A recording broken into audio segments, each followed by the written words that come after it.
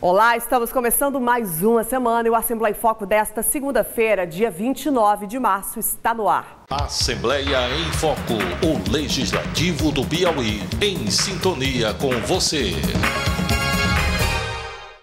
Após receber visita de cortesia do superintendente da Caixa Econômica Federal na Assembleia Legislativa, o presidente da Casa, deputado Temístocles Filho, retribuiu nesta segunda-feira o gesto. O parlamentar cita a importância da instituição para o Estado.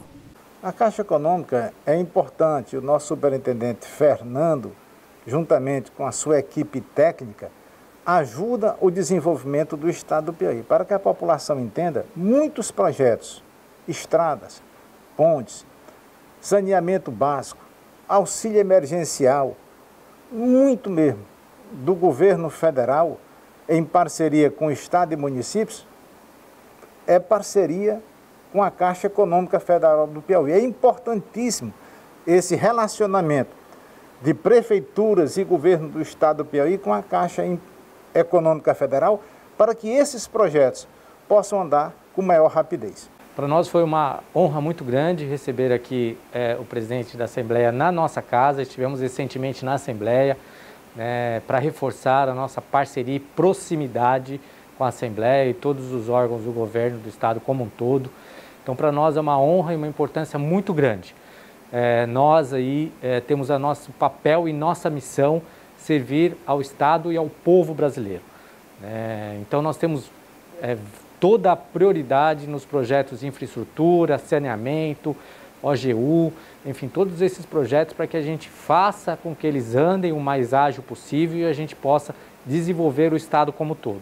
Além disso, o nosso papel né, nos pagamentos dos benefícios eh, e programas sociais. Né? Então, todo esse nosso atendimento à população e fazer com que o Estado se desenvolva, o Estado, os municípios se desenvolvam, é o nosso papel. Então é uma honra muito grande receber o presidente aqui. Tivemos aí uma conversa super agradável né, e montamos uma agenda para que a gente possa estar sempre dialogando e sempre se atualizando dos diversos projetos em andamento no Estado como um todo. O deputado Coronel Carlos Augusto do PL defende a vacinação prioritária contra a Covid-19 para os profissionais da segurança pública. Apresentamos nessa casa ainda no mês de fevereiro certo? um requerimento que foi aprovado por unanimidade solicitando a vacinação de todo o sistema de segurança pública, né? por ter a peculiaridade de atuação de enfrentamento, certo? E por, este, por estar neste momento, certo? socorrendo as pessoas, atendendo os decretos das autoridades, do governador, do, dos, prefeitos, dos prefeitos nos 224 municípios, por estar bastante é, é, vulnerável a, a contrair esse vírus. Nós que temos também famílias, que trabalhamos. Primeiro, nós trabalhamos numa viatura com duas, duas três pessoas, dois, três policiais. Já tem o contato. Nosso enfrentamento é, no dia a dia é de contato. Nós retornamos para as nossas casas e temos contato com quem está isolado. Então, assim, como é uma atividade é de Estado e de necessidade mesmo, sabe? Eu tenho é, feito esse encaminhamento aqui nesta casa, mas também é, é, tive audiência com o governador Wellington Dias, com o Ministério Público, hoje com o secretário de Saúde, buscando um calendário para iniciar a imunização o mais rápido possível de todo o sistema público de segurança, certo? que está na linha de frente no enfrentamento da Covid-19. Na certeza que seremos atendidos e que muito em breve, espero, certo, ver todo o sistema de segurança pública imunizado para que nós possamos, de fato, proteger a sociedade.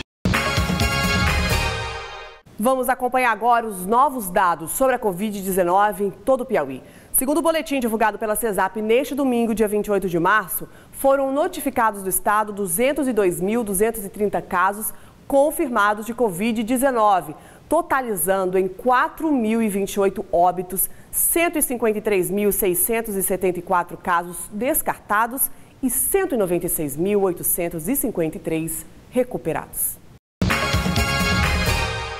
Nós estamos ficando por aqui para acompanhar essas e outras informações sobre as ações do Legislativo Estadual. É só acompanhar a programação da TV Assembleia no canal 16.1. Estamos também na Sky HD pelo canal 316.1, na Vivo pelo canal 9, NET pelo canal 7 e na Oi TV pelo canal 215, além da nossa Rádio Assembleia na frequência 98,3 FM e no site alep.pi.gov.br. Até o próximo Assembleia em Foco. Assembleia em Foco, o Legislativo do Piauí, em sintonia com você.